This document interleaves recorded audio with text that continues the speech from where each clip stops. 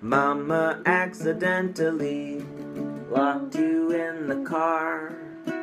I couldn't find the extra key, so she called the fire department. It was scary, but you were smiling.